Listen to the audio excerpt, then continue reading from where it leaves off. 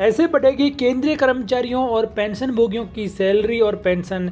आठवें वेतन आयोग को लेकर वित्त मंत्रालय ने लोकसभा में दी महत्वपूर्ण और ताज़ा अपडेट। जी हाँ दोस्तों, काफ़ी लंबे समय से केंद्रीय कर्मचारी ये इंतज़ार कर रहे थे कि क्या आठवां वेतन आयोग आएगा या फिर नहीं आएगा।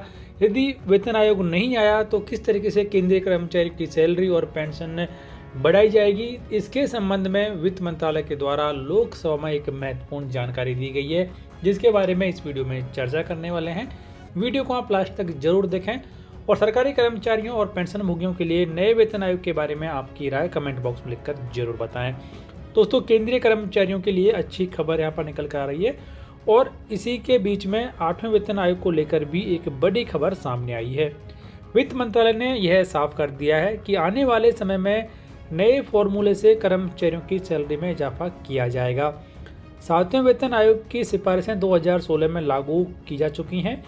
उस बात को अब छः साल बीत चुके हैं और अब चर्चा है कि केंद्रीय कर्मचारियों की सैलरी तय करने के लिए आठवें वेतन आयोग का गठन करने पर फ़िलहाल कोई विचार नहीं किया गया है। लेकिन नए फॉर्मूले से केंद्रीय कर्मचारियों की सैलरी हर साल तय होगी। इसकी जानकारी वित्त मंत्रालय में, राज्य मंत्री श्री पंकज चौधरी जी ने लोकसभा में दी है। और इसके अलावा यहाँ पर एक्सपर्ट्स का भी ये मानना है कि वेतन आयोग से अलग फॉर्मूले पर विचार होना चाहिए। श्री पंकज चौधरी ने एक सवाल के जवाब में कहा कि यह सच है कि सरकार केंद्र सरकार के कर्मचारियों और पेंशन भोगियों के वेतन, भत्ते और पेंशन को रिवाइज करने के लिए आठवें वेतन आयोग से अलग कुछ सोच रही है, लेकिन आठवें वेतन आयोग पर अभी कोई विचार नहीं हो रहा है। उन्होंने कहा कि केंद्रीय कर्मचारियों और पेंशन भोगियों के वेतन, भत्ते और पेंशन की समीक्षा के लिए वेतन आयोग के गठन की आवश्यकता नहीं होनी चाहिए।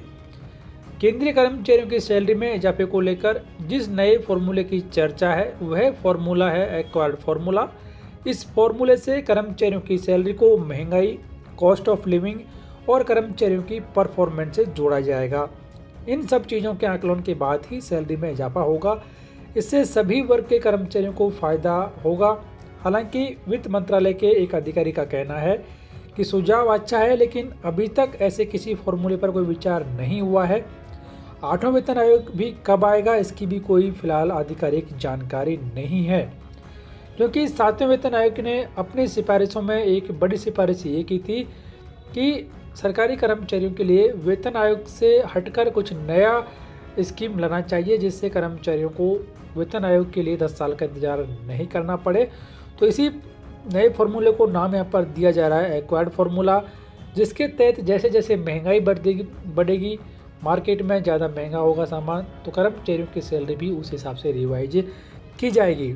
लेकिन अभी तक इसके बारे में कोई आधिकारिक जानकारी सरकार के द्वारा नहीं दी गई है, और जो वित्त मंत्रालय के द्वारा जानकारी दी गई है कि सातवें वेतन आयोग में सिफारिश की थी, लेकिन अभी तक उन सिफारिशों को नहीं माना गया है।